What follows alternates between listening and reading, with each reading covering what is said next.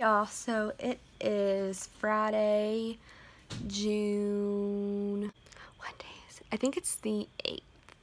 It's the 8th, and it's like 10.30 at night. I am reading When Dimple Met Rishi. I actually didn't get far along in it last night. I, I only got to chapter 3. So, by the way, this is very bright orange. It's kind of like burning my eyes, but it's fine.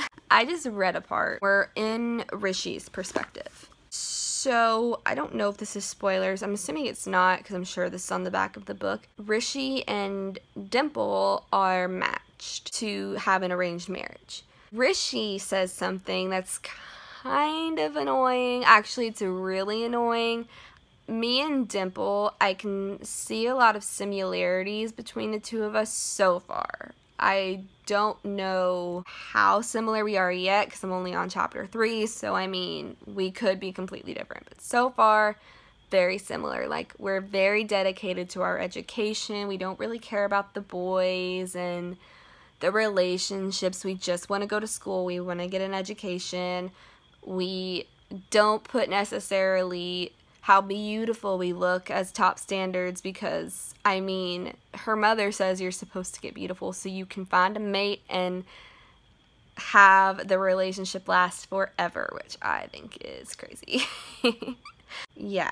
So, Rishi seems like a good kid. He really does. And I'm assuming this is something that he was just taught as a child.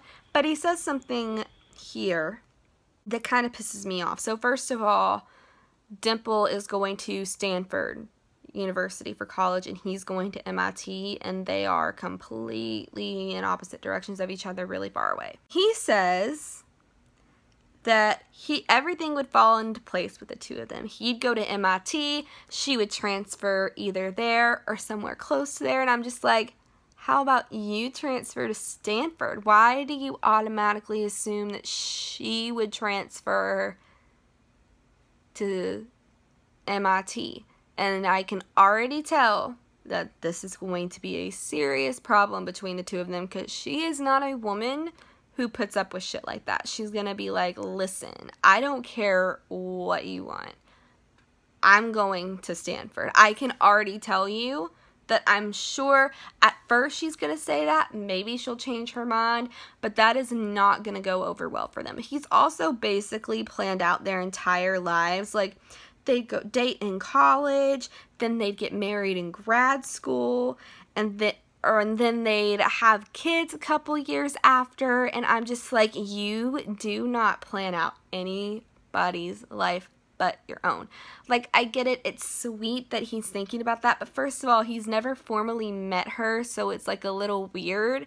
And second of all, when you plan your life as a couple, you're supposed to include the other person in those plans. You're not supposed to just make the plans and you know, assume that they're going to be okay with it because guess what? There's going to be compromise, there's going to be talks, there might be some thoughts about it, but you can't just plan someone's life and that be it. That definitely kind of really annoyed me, but everybody says that Rishi's a really sweet person, so maybe this is just something he was taught because, I mean, I've met some men like that who just assume that the girl goes with them and I've also met men that if they're not the breadwinner, then that's not okay. They want to make more money than their wife. So, you know, I, I've met several people, and I'm not saying all men are like that at all, at all, but just I've met some people like that. And I don't think he's one of those guys. I think that he, he sounds sweet and sincere. Maybe to most people,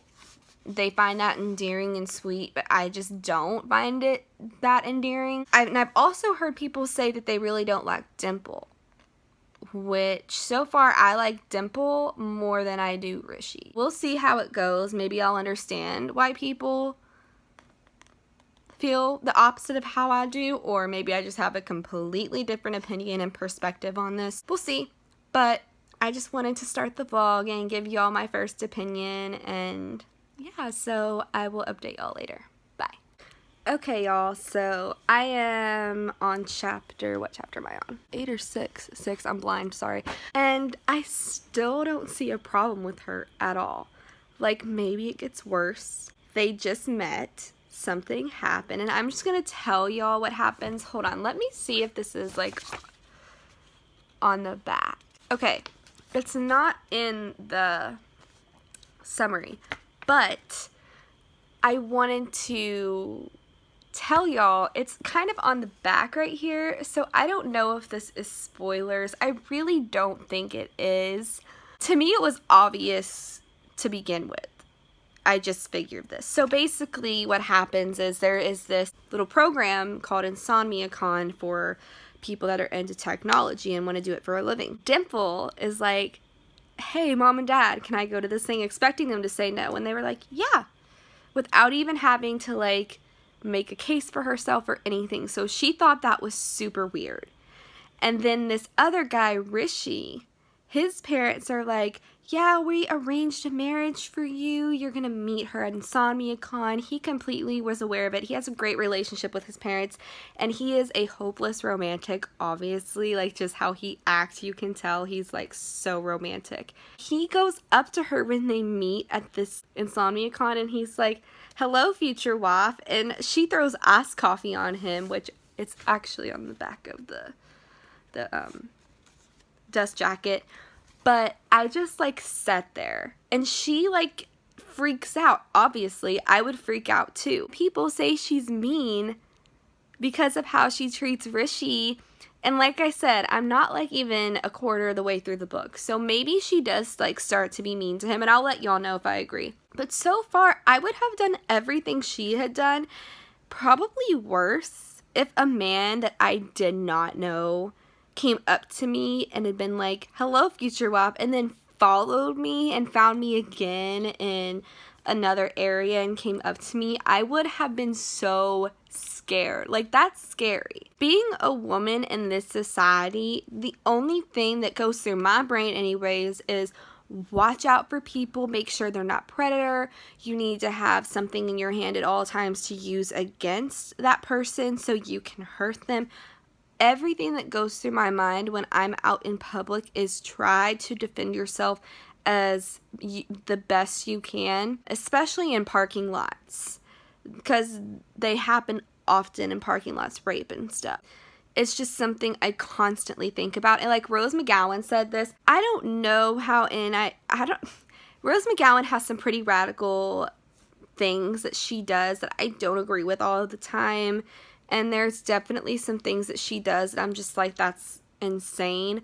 But there was this one thing that she said. She said that when a man and a woman go on a date for the first time, the worst thing that's going on in the man's mind is I might get rejected she might not want to come upstairs to my apartment. And the one thing that's going on in the woman's mind that is her fear is that this man could possibly rape me, or he could possibly bring me up to his apartment and date rape me, or roofie my drink at dinner. That is all that goes through our heads. Then we hope and pray this guy is a good guy and is not going to rape me. And it happens so much. One in every three women get raped, and I have not ever met a woman that does not have a story of when they were harassed, abused, assaulted, all of it.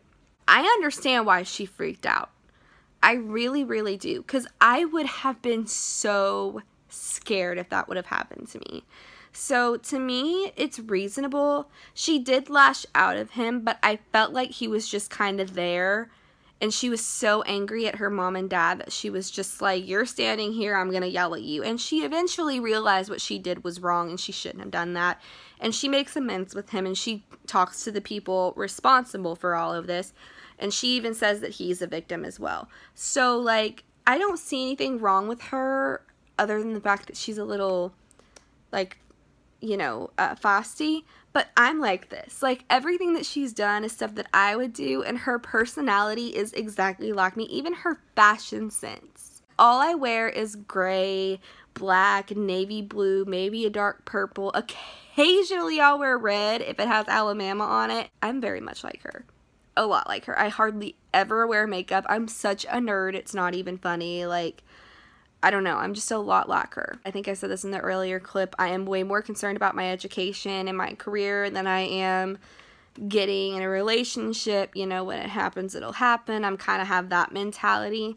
So, yeah, me and her are very similar. So, if there's people that thought she was a bitch in this book, I'm sure that is what people think of me. Which is fine. I don't care. If it makes me a bitch because I'd rather focus on my education right now in my 20s, my in my early 20s, I'm 20 years old, then worry about falling in love and getting married right now, then I guess I'm a bitch and I don't really care. So if it makes me a bitch to defend myself and stand up for myself and fight back with people who are mean to me, then I guess I'm a bitch.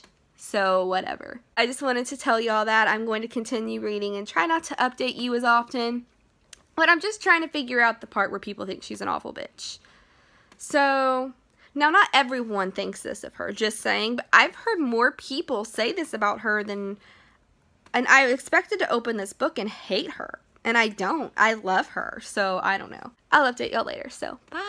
Hello. Hey. We, We did switched. it different. that was unintentional, by the way. So we just went to the library. So this is going to be a library book haul. We joined the reading program. Yes, we did. Because every 15 minutes you read, you get to write your name down and then you put your name in a card. So I'm going Every to. sheet that you fill up. You Yeah. Put your name in Well, yeah, that's what. I meant. I'm going to fucking destroy this reading program. Destroy it. I read like 10 hours every day. You look like a cow in this. No, you don't. You do not look like a cow. You look like a rooster.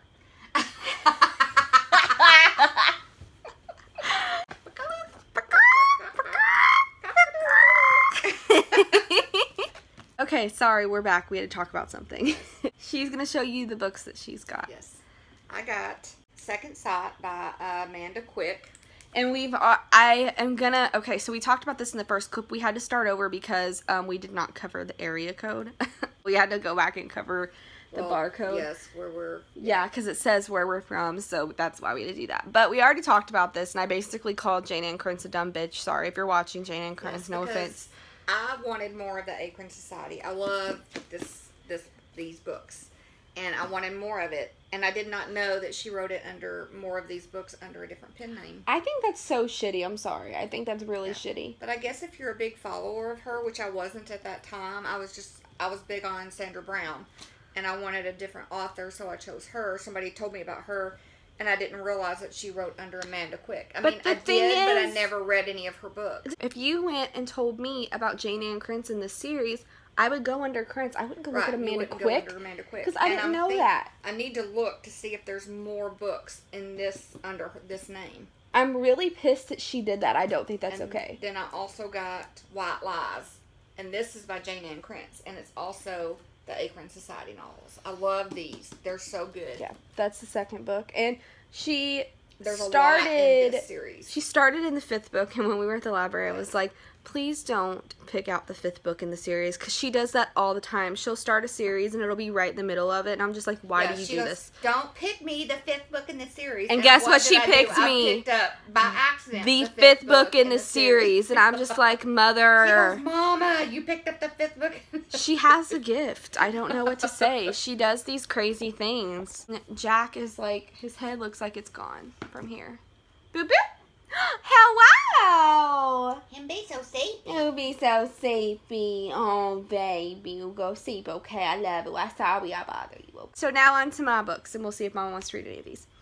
So I've got Something Borrowed by Emily Giffin, and I absolutely love this movie. It is so great. And it has John Krasinski in it, Kate Hudson, the girl from Once Upon a Time, and just this great cast that I love, and that sexy guy from All My Children that I would fuck. Um, in, um, oh my gosh, the soap opera that Daddy watches. Young and the Restless. Yes. God. He's so fucking hot though. I'd fuck him so much, like it's not even funny. Sad that He's I gorgeous. can remember who he played in Young and the Restless, but, but not All you can't. You don't even like Young and the Restless. Some idiot decided to cancel All My Children. Soap opera in the world. Well, that's debatable. I thought One Life to Live was better than All My Children. Well, you're high. Thank you. Next book this is Pet Sematary by Stephen King. and I did not like this movie when it first when I first watched it, she told me it would be the best movie ever, and all these animals died, and I was really upset. But they came back to life. As evil demons! the fuck? I really want to see if the book is good because people say the book is a lot better. I went obviously. on a first date to see that movie. Oh, I've never In been on a first. Kansas. Oh yeah, I went on one date once. It was awful too. First date. I hated that. I was so uncomfortable. I was so ready to go home. Sorry if you're watching this guy that you went on a date with, but not really because you were an idiot. Okay, I have That got bad. I've got filet. Mom, you're not even paying attention. I paid attention to yours. I'm paying attention. You're reading. I was not reading. I Mhm. was looking. looking at the words, which is reading. so next I have Flame in the Mist, and this is a YA fantasy book that I have just wanted to really try, but I'm not sure I'll like it. People have had really mixed reviews, so I wanted to see if I would like this first. So I got that. And then I got the Hazelwood, which I've also heard mixed reviews about, and this is just so beautiful. And I don't know what any both of these are about. I have no idea. The next book I got, Don't You Cry by Mary Don't cry for me, Kubica. You are so dumb. She's a sad person. Just ignore her. This is a thriller that I've wanted to try, and I've got another one of her books, and it's on my bookshelf. But right now, my parents want me to try to not buy as many books and check them out at the library first. And if I really like them, I can get them. It didn't work out how I wanted it to. I just want you to buy the first of each series, and then if you like them, then buy the series. Mom, that's not. Because there's some series that you have DNF that you did not like. One series, the selection, and I knew I'd hate that one, so I only got the first book. That is the only series I've DNF'd. She she knows I'm right. That's why she's rolling her eyes and getting I all just can't pissy. think today. There's a whole closet full of stuff in there that you don't That I didn't haven't read since I was in middle school. And The Cruel Prince, the first book in the series, I hated that. Got rid of that. All of them are not complete series. They're just first books that I hated. Next. So read from the library. That's what they're there for. Next, I got Salem's Lot by Stephen King, which is a big ass book, by the way. And people say this one is one of his scarier books. Like, really scary. about witches? Considering it's called Salem's Lot. I know. I'm gonna Sure. punch you in the throat. If it's not, then that's a deceiving title.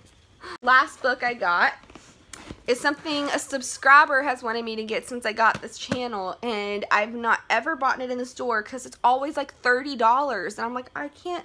So I found it at the library, and I am finally going to read it, and it is Name in, wait, The Name of the Wind, and it's about magicians, so I'm really excited. It's an adult fantasy, and I love adult books. I also have a large TBR that I drew, so I'm going to try to get through that.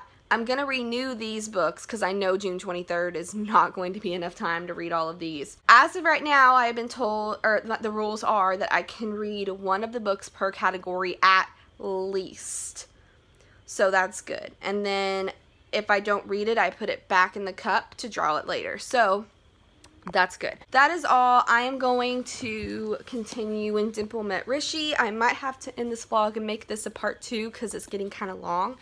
But we shall see y'all later. So bye. Hey y'all. So I just wanted to talk to y'all about when Rimple de- er, or when Dimple met Rishi. I'm con- I'm continuing reading and I'm on chapter 10.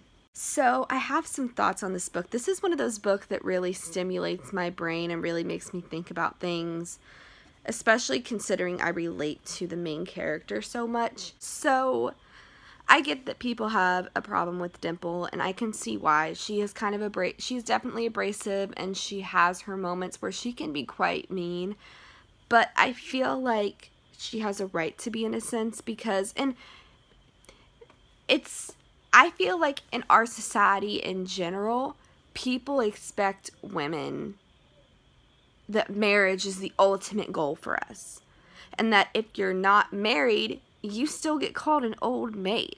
In high school, my nicknames were Virgin Mary, I got called a prude, I got called frigid. Like, it's crazy because I was focused on my education so I could go to college and have a career. I got called all sorts of names. So I understand where she's coming from. I really, and I even, I still don't understand completely what she's coming from because she's from a different culture than me. It's, it's a lot harder for her. But I'm just trying to make a point that women in general have that issue of if marriage isn't your ultimate goal, then there's something wrong with you. And I hear that to this day. People don't even ask me, like, at first, what are you your major in college? Are you in college? What do you want to do with your career and your life? I get asked, do you have a boyfriend? Are you interested in anyone? Those are the questions I get asked first, generally. And it's really irritating because people just assume that my entire life is based around a relationship. I'm not saying that I don't want a relationship. That's that's not true. I do want one eventually. And if it happened now, it would happen, but I mean, it's just not what I'm focused on. My my mom gets mad at me and so do my friends because a guy will literally hit on me and I will have no idea that it happened. Like, I'll be like, what? Because I'm just so oblivious to it. She's also just worried about the fact that Rishi isn't exactly like, it doesn't seem he's 100% dedicated to this. And this is something she really wants. I kind of feel for her in the sense that if I really wanted something like that and I had somebody who only solely went there basically for me, I would be definitely uncomfortable with that. I, I just completely understand where her anger is coming. I can't understand it completely because I don't have her culture. And just generally for women of color, it is so difficult for them to. It's just harder for them not because they're not talented or gifted they could be more gifted than me but simply because i'm a white woman it, it's it's easier for me to get along in the world but she's already having trouble in society she has trouble with her parents she's kind of just letting all of this out. He, she's taking it out on him, and maybe he doesn't deserve it. And I'm definitely not. I'm not. I'm not saying he does deserve it. I think he's genuinely a good guy. And also, like, she reminds me so much of myself. Sorry, my mama came in. So what I was saying was, Dimple is is very abrasive. She's high strung. She, she's just very controlling she freaks out easily, she gets angry easier. Rishi is the perfect compatibility for her, and my parents and my friends has always told me that I need a man who is calm, he's collected, he's not so high strung, he's laid back, he's chill, he's he's good. He doesn't lose his patience very easily. So I need someone to balance me out. And I feel like she needs Rishi to balance her out. And I feel like Rishi needs her to motivate him more and to really get. She can help him find what he really wants to do and she will push him to go for it. They need each other. You know what I mean? My mom and dad are like that. They're so compatible for each other. I'm exactly like my dad. I'm so controlling. Not, not not like in a sense that I like to control the people around me. I just like to control my life. I like to try to control, I just like to control things in my life. I'm not a person that wants to control other people, but just me. But it gets a little out of hand. I am so ambitious. I am so determined. It's to to a fault almost. I'm just really like Dimple a lot. I'm definitely fasty and I can be very what what happens is I'm very honest. I'm an incredibly honest person and if you ask me a question, I'm going to be upfront with you. I'm going to tell you how it is and all. And if you don't like it, I'll just be like, "Well, then you shouldn't have asked me." I'm just a brutally honest person and people convey that as me being mean, but I never say anything with the intention to hurt someone's feelings it's just me having this honesty thing in my head where people claim they want to hear the truth, but then when they hear the truth, they get angry. So that's always confused me, always, because I'm just like, you ask me for my honest opinion, and then I tell you, and then you get irritated. So, like, what do you want? You should have said, I want your opinion, but lie to me. You know, like, I don't know. I just relate to her a lot. I don't find her awful, mainly because I find myself to be this way. But I think Rishi's going to be great for her. I need a guy like Rishi. I need a guy a lot like Rishi. I'm just so. I need a guy to calm me. When I freak out, I need him to calm me down. I need a guy that has this soothing voice that says, you know what? You can't control everything that goes on in your life. You're gonna have to let some things go. You need to stop and smell the roses because I need that in a partner. I need that in my future boyfriend or husband whenever it happens. I need that because I, I just, I need it. I know I do. I'm aware of that. I know who I am and I know the kind of partner I need because my, my, my, everyone I know has told me this for years. I'm going to continue reading. I just wanted to talk. I love this book. It really makes me think. And I love books like that that make me like really want to pick up the camera and talk. And I like when it makes me like look at myself more. So yeah, but that is all. And I will see y'all later. Bye. Hey y'all, so I just wanted to end the vlog. I just wanted to end the vlog. I just wanted to end the vlog because it's 28 minutes. So after this clip, it'll probably be about 27, 28 minutes. So I definitely need to stop it. I don't want it to be 45 minutes long. I'm just going to make a part two of When Dimple Met Rishi vlog. And yeah, and I'm going to try not to vlog as much this time when I'm reading it. I'm still going to vlog, but just not like every other chapter like I did, but this book is just, I love it. And like I've said a bajillion times, it just makes me think, and that's why I pick up the camera. That is it for today's vlog, and I will see y'all later. Bye! Oh, wait, wait, wait! Before I say bye, I'm going to tell y'all that I'm going to do a booktube newbie tag this week. I'm going to do a mid middle of the year book tag and I'm doing my May wrap up. I'm thinking that maybe I should do maybe a ship it tag or like marry, is it marry fuck kill? Is that what it's called? I'm sure there's a cleaner version for it for the internet. Maybe I'll do something like that or books that I really would like to read this summer. That actually might be what I do. The books that I would really like to read this summer. I'm going to go ahead and do that. So, I just wanted to tell y'all what I was planning to film this week. And I will just keep y'all updated. So, I will see y'all in the next vlog. Bye!